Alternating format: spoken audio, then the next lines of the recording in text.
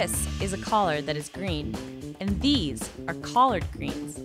Although both impressive, a collard green is a massive, green, loose leafed vegetable that grows in stalks up to two feet high, known as a cruciferous vegetable and part of the. Hold up. Crucifer what? Think broccoli, cabbage, kale.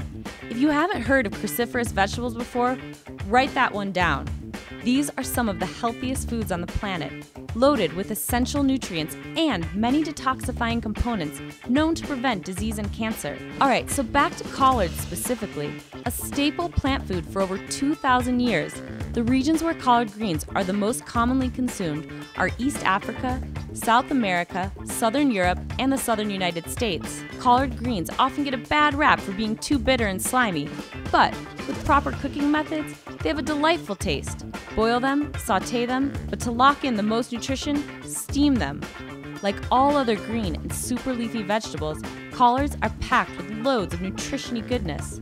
High in vitamins K, A, and C, and an incredible source of guess what? Calcium.